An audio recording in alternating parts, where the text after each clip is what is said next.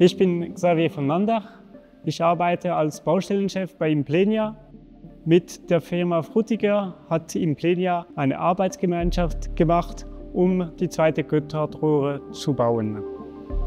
Für die zweite Gotthardröhre sind zwei Tunnelbohrmaschinen im Einsatz, eine im Norden und eine im Süden. Die Tunnelbohrmaschine ist 110 Meter lang, gleich lang wie ein kleines Zug und hat einen Durchmesser von 12,30 Meter. Sie wiegt über 1800 Tonnen. Die 15 Elektromotoren bringen eine Leistung von 7136 PS. Die Tunnelbohrmaschine wurde in Süddeutschland produziert und sie wurde per LKW transportiert. Dafür haben wir über 110 LKW gebraucht. Hier in Göschenen und im Süden in Airolo wird die Maschine zusammengebaut. In Göschenen gibt es einen Vortunnel von 591 Meter lang. Das ist ein Tagbautunnel außerhalb der Berge. Nach dem Tagbautunnel haben wir den Voreinstitt. Danach gibt es eine Strecke als lockeren Gestein.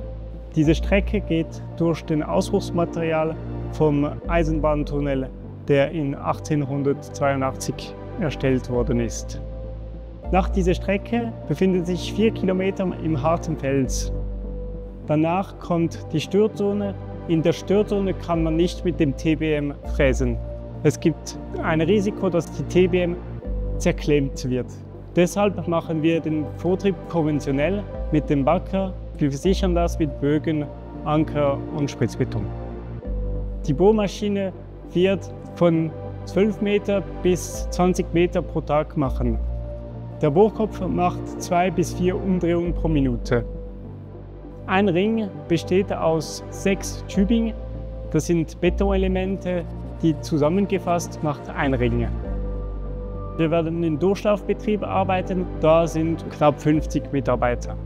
In der TBM arbeitet ca. 15 Mitarbeiter pro Schicht.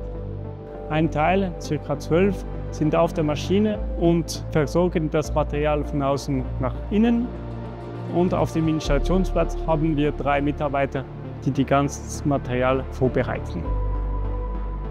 Die Hauptaufgabe der Vermesser ist, dass die Maschine im Norden und im Süden sich in der Mitte treffen. Für das benötigen sie sehr präzise Tachymeter und sie kommen regelmäßig im Tunnel und kalkulieren die Achsen. Nach der Vortrieb wird die TBM demontiert. Es wird in kleine Teile demontiert und abtransportiert.